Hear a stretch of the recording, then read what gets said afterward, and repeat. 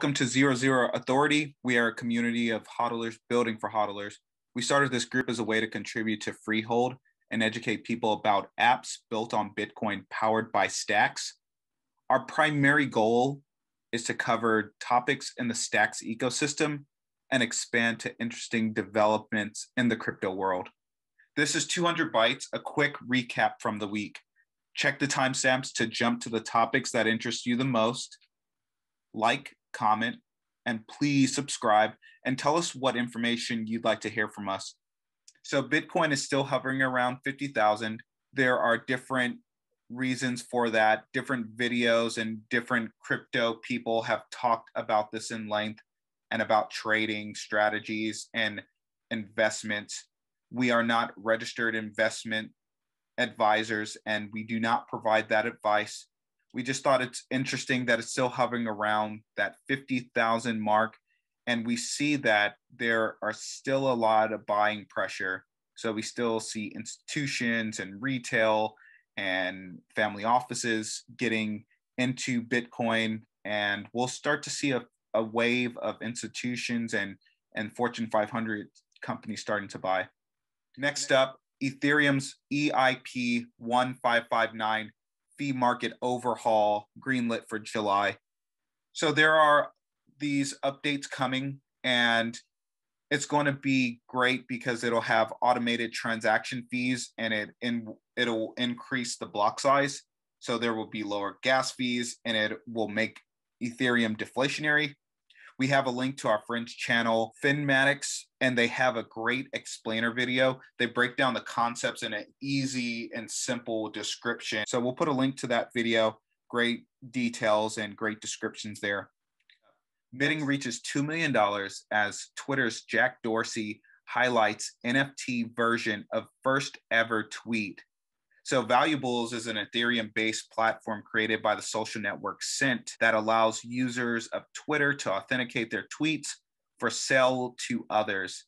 And think of them as a digitally signed copy. The tokenized tweets are only sold when the author of the tweet accepts a bid.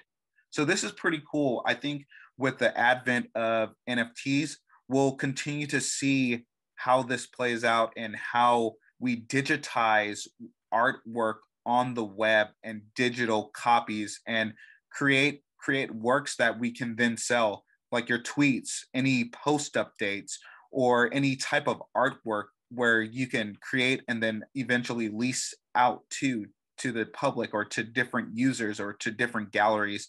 So that's going to be cool and i think this moves the the innovations forward there. Next Galaxy's institutional Ethereum fund raises 32 million at launch from a select few. So Galaxy Digital's institutional grade Ether funds, ETH funds have raised over 32 million since their February launch. And that's according to some documents filed with the US Securities and Exchange Commission, EIP 1559 and these funds that continue to roll out to purchase Ethereum from an institutional perspective, we're going to see we're going to see huge buying pressure like we saw with Bitcoin in early January. And so we're going to see Bitcoin and Ethereum get scooped up off of off of exchanges by institutions, family offices, endowments, and Fortune 500 and eventually Fortune 1000 companies Next, Stacks blockchain hits an all time high. There's a ton of great news coming out from the ecosystem. There will be stable coins, there are NFTs, there are DeFi apps, and gaming apps are coming soon. And so there's a ton of buzz around Bitcoin and Stacks ecosystem. And Stacks is the only way to, to stack your STX and earn Bitcoin. So there are lots of lots of projects coming online.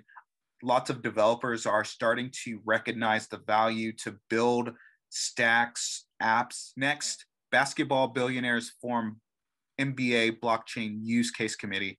Mark Cuban is leading this effort and headlines with the other list of owners, but they're exploring blockchain use cases for the NBA. And a lot of the NBA owners are involved in tech or involved in in industries that are considered leading edge. Next, Cosmos Atom Token set for a Stargate inter blockchain communication upgrade, and that is the IBC upgrade. So Cosmos and Polkadot are are the blockchains that are are trying to make interoperability a real life use case where we don't have to go to individual blockchains for certain use cases or certain native cryptocurrencies.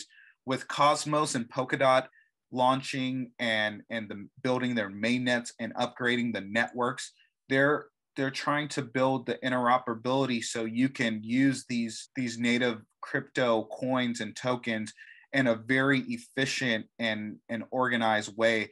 So today, the Web3 applications built on Stacks or built on Ethereum or ADA, they are pretty locked into those those ecosystems. But with Cosmos and Polkadot, they aim to get the data into the real world and and be able to move data around to these various blockchains.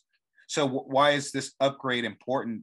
The Cosmos decentralized network of independent parallel blockchains powered by Tendermint Byzantine fault tolerance consensus algorithm is set to roll out its Stargate upgrade soon to take the network a step closer towards its mission of becoming the, the ultimate interoperable and scalable blockchain network. And the team has hinted that the Stargate upgrade will set the stage for the launching of Cosmos inter blockchain communications, the IBC protocol, which make it possible for all the independent blockchain networks in the Cosmos ecosystem to be interoperable. So we'll continue to provide in-depth videos to the Stacks ecosystem and information to Freehold. And we'll continue to do 200 bytes, a quick recap from the week. Thank you.